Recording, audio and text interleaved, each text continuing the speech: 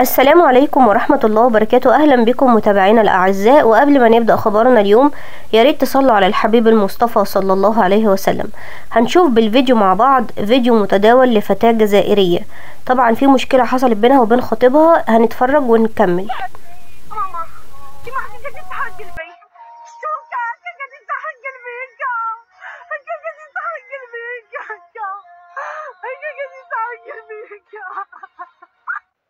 ظهرت الفتاة ب live على الفيسبوك ونزلت ال live ده آه، وهي جايبة ال- الحاجات بتاعة الجهاز بتاعها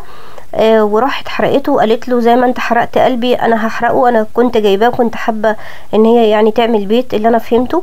آه، وأنا عايزة أقول كلمة كلنا نحذر من كسر الخواطر وكسر القلوب وكسر النفس كلنا نحذر ان يشتكينا حد لربنا